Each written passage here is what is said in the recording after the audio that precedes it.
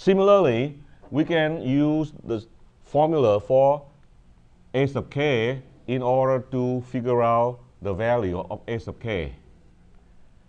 Now, again, based on that formula, what we can do is we replace the period t with 2 pi for this example. And furthermore, we can break up the integral from 0 to 2 pi. That integral from 0 to 2 pi, from 0 to 2 pi, that integral can be broken into two integrals.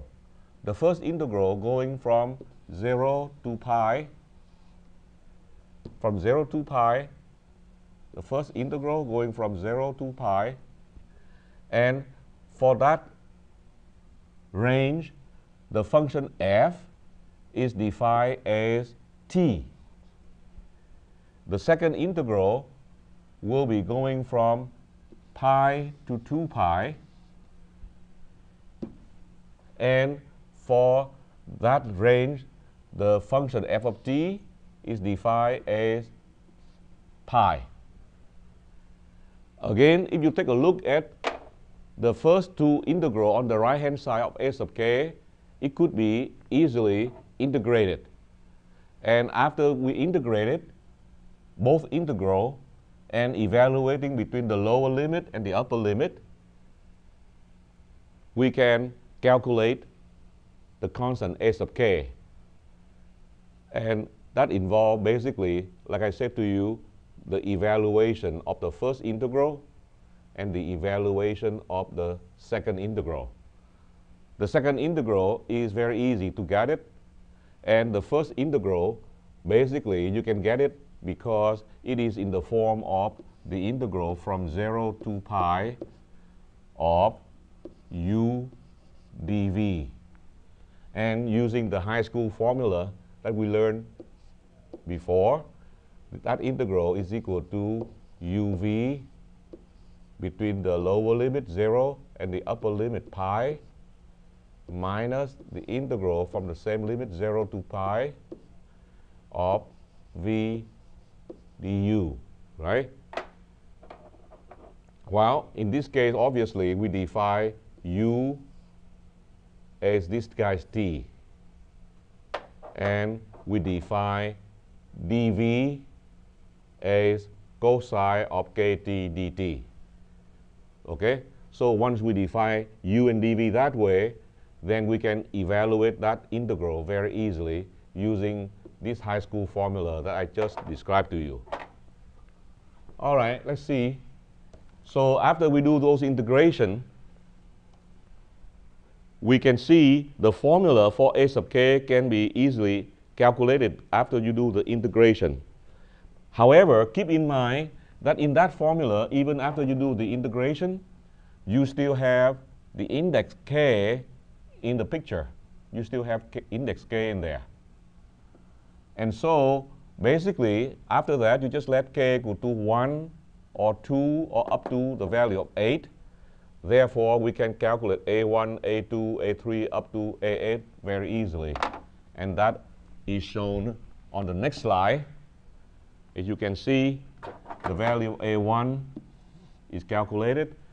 When you let k equal to 1, then you let k equal to 2, we can calculate A sub 2. Similarly, we let k equal to 8, we can compute A sub 8. So, in conclusion, the periodic function that is given to us, f of t, can be expressed according to the Fourier series as I indicated in the first equation on this slide. On that first equation, remember we already calculate the constant a sub 0 and we also already calculate the constant a sub k and b sub k. Well, in this case, we don't let k go from 1 all the way to infinity, but instead we just calculate k go from 1, let's say up to 8. All right? And the answer for a sub k from 1 to 8, k, k from 1 to 8, and the answer for b sub k, k go from 1 to 8, we have already computed before. So now, let us try to take a look at the Fourier series again. As you can see from the first equation on this slide, the summation on k, it can go from 1 to infinity. Obviously, the more value that you use for this summation, the more term you use, the more accurate answer that you will get. And therefore, we want to see what happens if we use only one term of the Fourier series. That means k equal to 1. When k equal to 1, f of 1 is given by this formula from the Fourier series.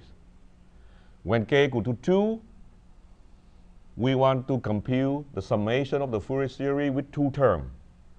So this is the first term, just like before, above that. And then the second term of the summation sign involved with this term.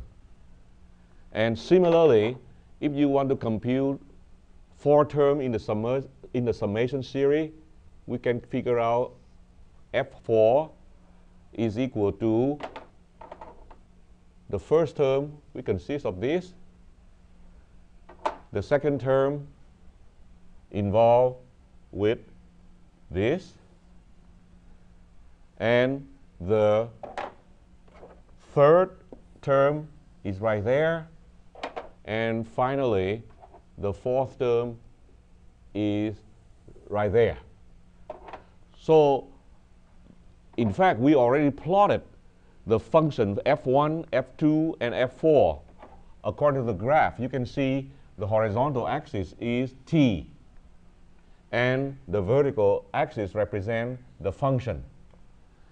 Now, as you can see, the more term that you use, the more accurate that you will get. So you can see the function f4 should be very accurate. That function f4, as you can see on the, on the graph, that function f4 actually is this term right here. This is this is the plot of the function f4.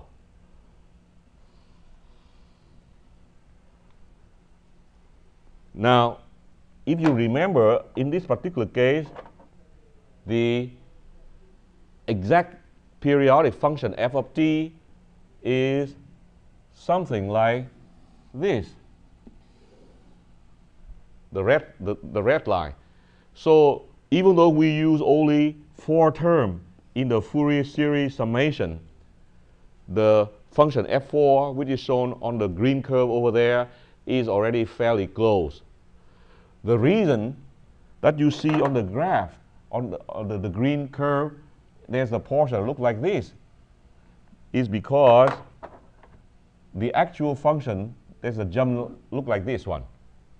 So you can see the green curve is fairly close to the exact periodic function, which is represented by the red curve over there, even though we use only four terms.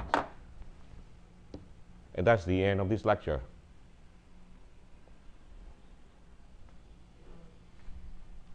And the acknowledgement